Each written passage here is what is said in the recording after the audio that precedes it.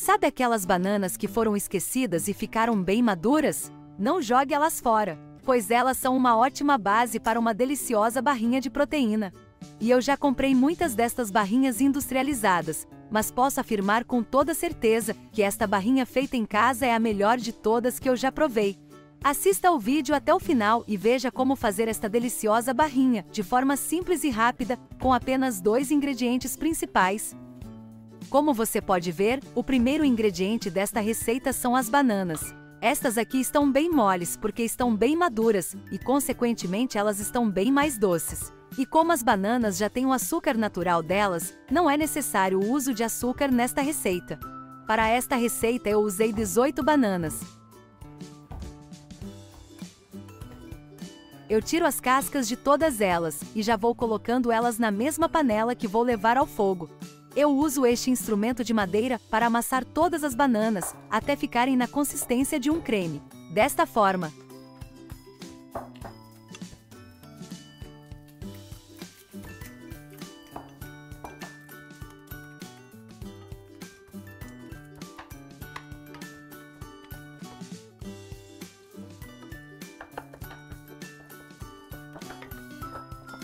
Prontinho! Agora eu adiciono algumas especiarias para realçar o sabor da banana. Eu adiciono canela ceilão e cravo da Índia em pó, pois eu acho que o sabor destas especiarias combinam muito com banana. Mas isso pode ser opcional. Se você não gostar destas especiarias, só a banana sozinha também fica ótimo.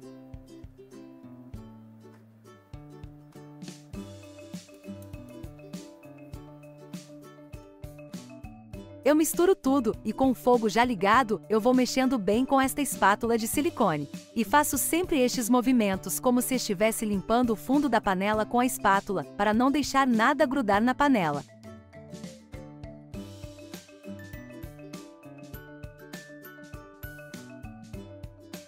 Outro ingrediente que eu adiciono é anis estrelada. Enquanto esta mistura estiver mais líquida, você não precisa ficar o tempo todo mexendo, pode deixar cozinhando por alguns minutinhos. Mas lembre-se sempre de estar verificando a mistura de vez em quando, para que ela não grude no fundo da panela. Quando começa a ferver, ela fica respingando, então eu coloquei a tampa da panela, mas não foi uma boa opção, pois o objetivo aqui é deixar esta mistura com menos água. A água tem que evaporar, então eu tampei ela com esta tela. Ela é usada para fritura, para não respingar óleo, e também serviu muito bem para este fim. Veja como a mistura já está mais durinha e mais seca. Bastante água já evaporou e ela está mais firme. Nesta fase eu mexo com mais frequência, pois tem mais chances de grudar no fundo da panela.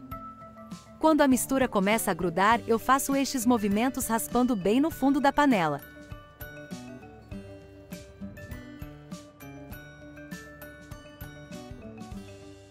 O ponto ideal é quando ela fica assim, se soltando da panela, formando uma pasta de consistência bem firme.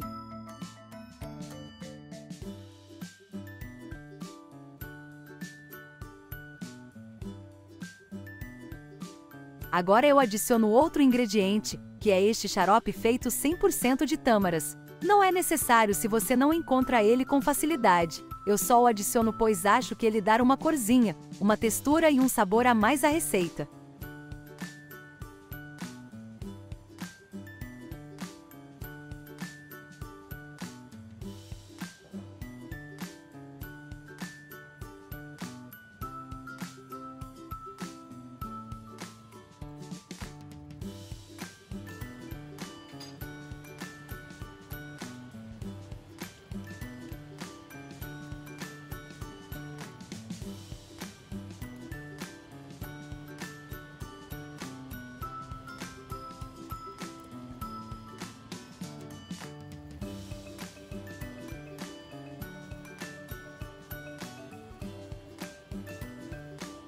Agora eu adiciono a proteína em pó, diluída em um pouco de água.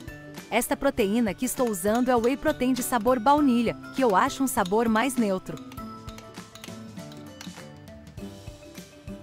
Eu não gosto de adicionar a proteína no começo da receita, seria até melhor pela praticidade, mas não gosto de cozinhar a proteína por muito tempo, então faço desta forma.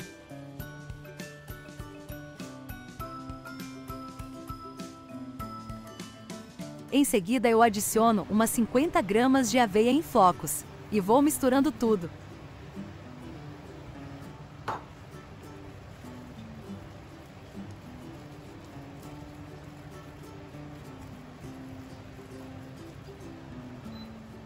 Adiciono também 50 gramas de amêndoas quebradas no pilão e misturo novamente.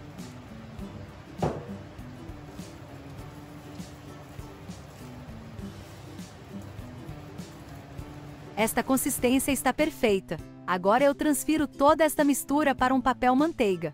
Destes usados para assar alimentos no forno.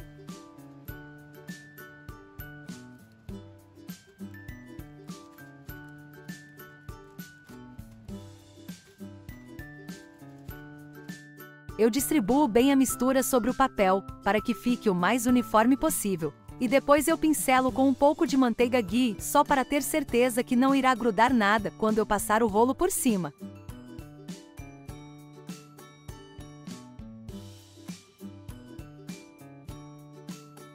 Agora eu coloco outra folha de papel por cima da mistura,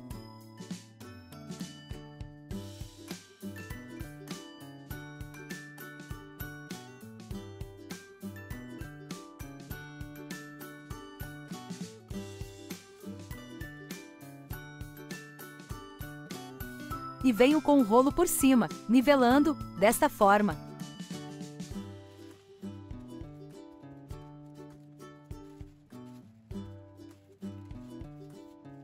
Agora é só colocar no forno para assar. Eu deixei pouco tempo, uns 15 minutos, só mesmo para dar uma leve secada e ficar no ponto de cortar e não se desmanchar.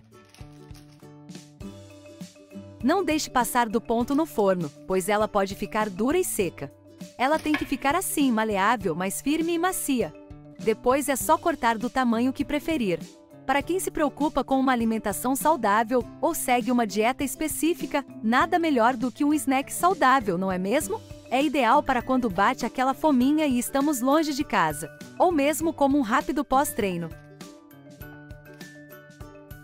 Se você gostou deste vídeo, não se esqueça de deixar o seu like e se inscrever no meu canal, pois assim você me ajuda muito, para que eu possa continuar postando mais dicas e receitas como esta. Obrigada por assistir e até o próximo vídeo.